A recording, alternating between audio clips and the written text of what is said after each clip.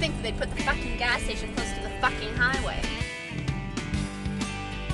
Manito- Manitobans, Manitobians are not friendly.